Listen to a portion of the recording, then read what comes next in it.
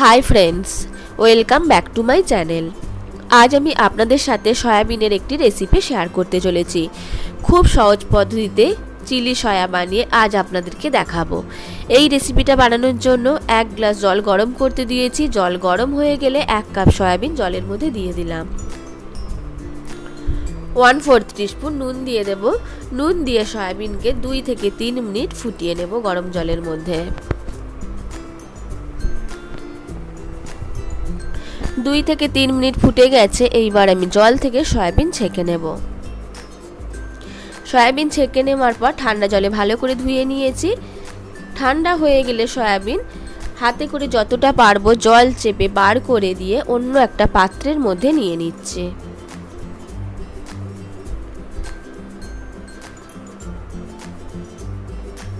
পাত্রের মধ্যে সয়াবিন নেওয়া হয়ে গেলে সয়াবিনের মধ্যে দিয়ে দিচ্ছি ওয়ান ফোর্থ টিস্পুন গোলমরিচের পাউডার, হাফ টিস্পুন লঙ্কা গুঁড়ো।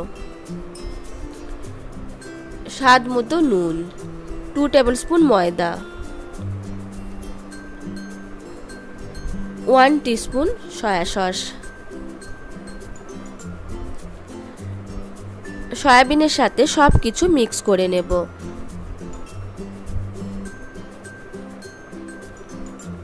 সব কিছু মিক্স করার সময় যদি ঠিকমতো মিক্স না হয়, তাহলে এর মধ্যে অল্প একটু জল দিয়ে দিতে পারেন।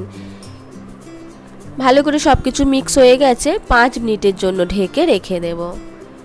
একটা বোলের মধ্যে ওয়ান ফোর্থ কাপ জল দিলাম one tablespoon cornflour one teaspoon soya sauce one teaspoon red chilli sauce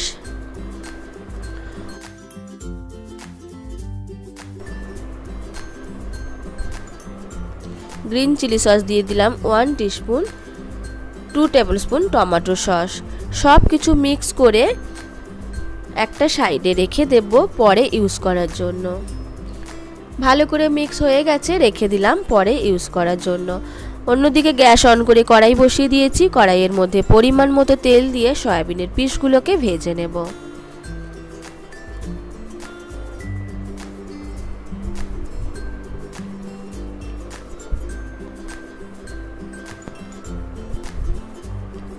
সয়াবিনের পিসগুলোকে প্রায় ভাজতে দুই মিনিট মতো টাইম লাগবে। এইভাবে নাড়াচাড়া করে সয়াবিনের পিসগুলোকে ভেজে নেব।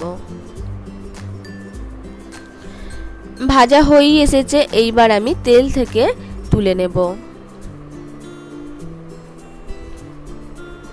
তুলে নিলাম তেল থেকে। সেম প্রসেসে বাকি সয়াবিনও ভেজে নিচ্ছি তেলের মধ্যে।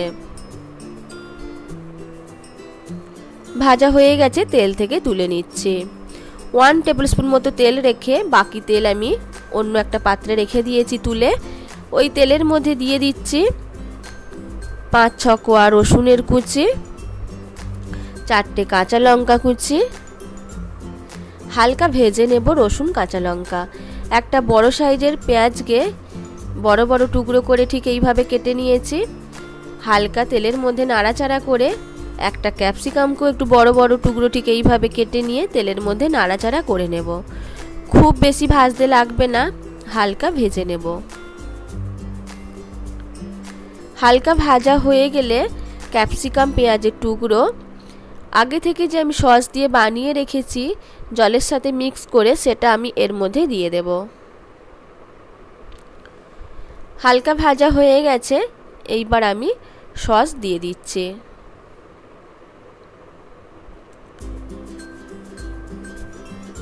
নাড়াচাড়া করে নিচ্ছি। কয়েক সেকেন্ড নাড়াচাড়া করে নিতে হবে। পরিমাণ মতো নুন, হাফ টিস্পুন কাশ্মীরি লঙ্কা গুঁড়ো দিয়ে দিলাম। অল্প একটু জল দিয়ে দিলাম। সব কিছু মিক্স করে নিচ্ছি হাই ফ্লেমে রেখে। আগে থেকে ভেজে রাখা সয়াবিন দিয়ে দিচ্ছে। কাশ্মীরি লঙ্কা গুঁড়োটা আমি এখানে কালার ভালো আসার জন্য দিয়েছি। আপনারা চাইলে নাও দিতে পারেন। সয়াবিনকে এক মিনিট মতো হাই ফ্লেমে ক্যাপসিকাম পেঁয়াজের সাথে নাড়াচাড়া করে নেব সসের সাথে।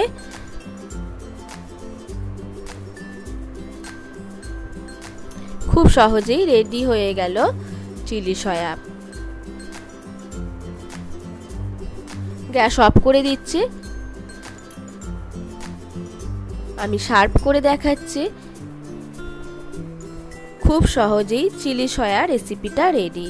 এই রেসিপিটা আপনারাও ট্রাই করবেন। ভালো লাগলে লাইক শেয়ার এবং কমেন্টস করতে ভুলবেন না। আর আমার চ্যানেলটিকেও সাবস্ক্রাইব করতে ভুলবেন না।